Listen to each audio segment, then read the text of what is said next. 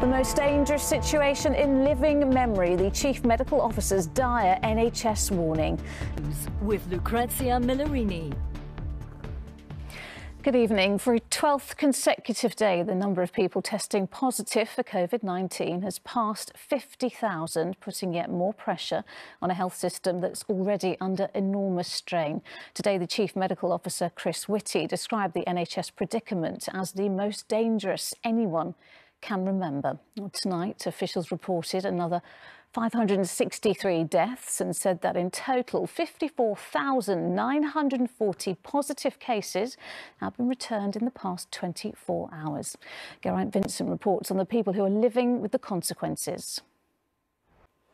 Well, leading politicians today insisted staying at home remained the best way to tackle the current coronavirus crisis, despite some scientists calling for tougher restrictions. The Health Secretary said rolling out vaccines remained the long-term fix. Matt Hancock said the immunisation programme was going so well that every adult in the country would be offered a jab by the autumn. Our political correspondent Carl Dinnen reports. So, Carl, the government under increasing pressure to go further with restrictions. Do you think that will happen? Well, at the moment, they don't want. Oh, thank you. In Indonesia, the black box flight recorders on board a passenger jet which crashed into the Java Sea, killing 62 people, have now been located. Search and rescue teams have also started to recover bodies and parts of the Boeing 737-500, which went down minutes after taking off from Jakarta yesterday. Martha Fairlie reports. In the United States, there have been further charges brought against people over Wednesday's riots in Washington. Among them, a man who wore a bearskin headdress and another who was pictured carrying the Speaker Nancy Pelosi's lectern.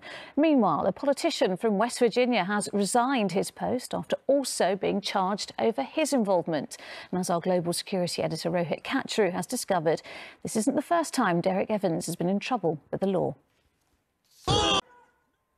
Here, a 14-year-old boy has been arrested after a robbery which left a delivery driver in a critical condition in hospital. And finally, the third round of the FA Cup has thrown up another giant killing as League Two Crawley Town thrashed Premier League Leeds 3-0. It's the first time the West Sussex side have ever beaten a team from the top flight. Dan Salisbury Jones was watching. And that is it for now. I am back with the late news at five past 10. Until then, enjoy your evening and take care.